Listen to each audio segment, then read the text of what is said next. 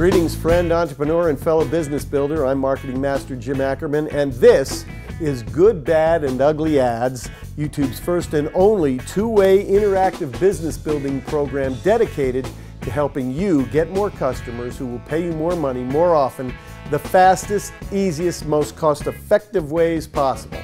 Here's how it works I'm about to show you a marketing specimen. You get to vote on whether you think it's good, bad, or ugly, not from an aesthetics, but from a marketing point of view. In other words, does it get the prospect to buy or at least take the next step in the buying process?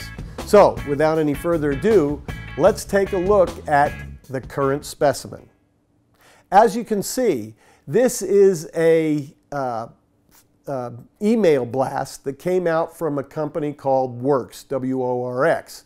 And the way they normally sell is through infomercials. They make and sell innovative garden and yard tools through infomercials on television.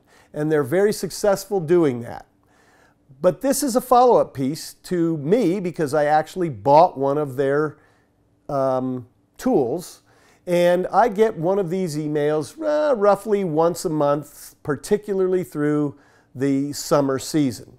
So you tell me, is this effort good, bad, or ugly? You can stop the video and examine it closely for as long as you want, look it over, and make your determination.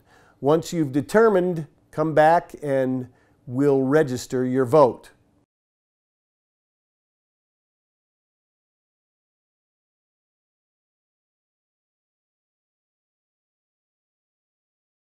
So, what is your vote on this specimen? Is it good, bad, or ugly from a marketing perspective?